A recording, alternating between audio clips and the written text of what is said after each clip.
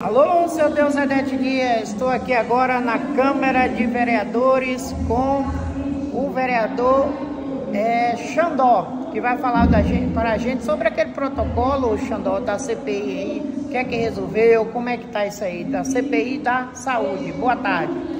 Olá, amigos, é, boa tarde. O protocolo já foi é, apresentado aqui na Câmara, nós temos inclusive oito assinaturas.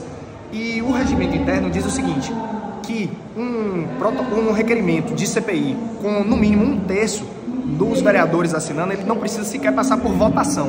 Então, como nós temos já mais de um terço, então hoje só foi apresentado, foi lido o requerimento, e aí agora o próximo passo é, na próxima sessão, vão ser indicados os membros dessa CPI, certo? Então, respeitando a proporcionalidade, então a bancada da prefeita vai indicar dois membros titulares e a bancada de oposição vai indicar um membro titular. Então, e cada um desses tem os seus suplentes. A partir desse momento, a gente inicia então é, os prazos, né? A contagem de prazo vai é, se ter uma primeira reunião para definir a presidência, relator, e a partir disso nós vamos ter 90 dias de trabalhos dessa comissão parlamentar de inquérito. Então vai ficar para a semana que vem? Não, nessa sexta-feira agora os nomes já vão ser apresentados e aí já começam os trabalhos. Alguma manobra, alguma coisa assim? Você tem alguma manobra? Olha, a reunião que nós tivemos ali da bancada dos líderes, o presidente da Câmara, enfim, nós tivemos uma reunião que foi relativamente tranquila, né? É, não houve um apontamento de tentativa de impedimento, de minar a CPI, né? É, claro, não estou satisfeito politicamente, afinal respondem a um processo de corrupção. É isso que está acontecendo aqui na casa. Mas é, a gente espera que não tenha nenhum nenhum empecilho nesse meio do caminho, apesar de que um vereador da bancada deu entrevista mais cedo e disse que iriam questionar a, a, questão de um vício de origem, algo que não tem nada a ver. Enfim, acho que está falando algo que nem sabe, talvez não tenha nem lido sequer o, o, pedido de requerimento da CPI.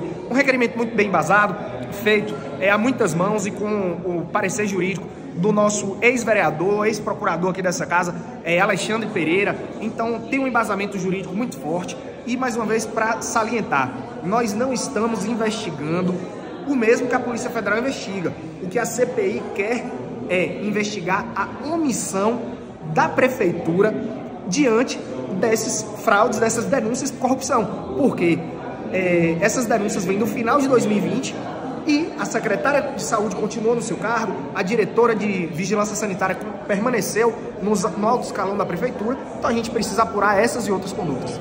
Trouxeram a criação da CPI da, do transporte também? Olha, por parte da bancada do Partido dos Trabalhadores, não há nenhuma movimentação para a criação de nova CPI.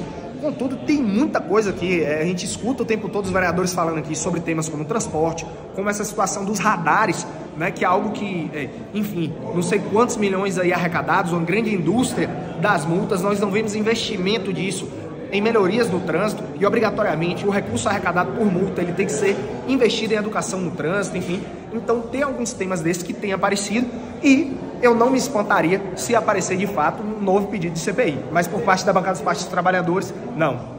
Obrigado, vereador Xandó, e seguimos por aqui nas ruas de Conquista, trazendo a melhor